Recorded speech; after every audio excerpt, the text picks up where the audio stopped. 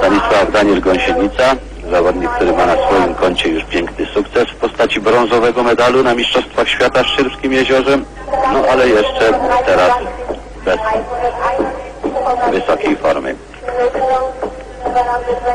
W ubiegłym roku skakał tutaj w turnieju czterech skoczni, ale także bez większego powodzenia.